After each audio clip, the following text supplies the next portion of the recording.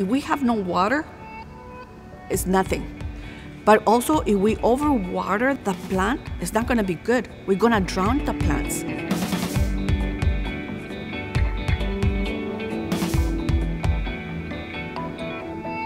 We use a soil moisture probe that's in field that's connected to a wireless transmitter that uses radio to communicate with a base station that's somewhere located on a farm.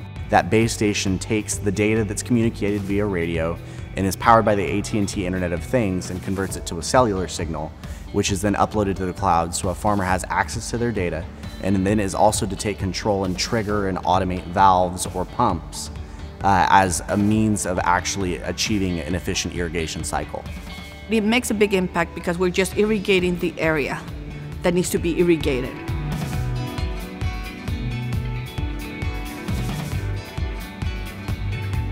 We have AT&T and it's very fast, efficient, and we can get our things accomplished because of all the technology that we can use.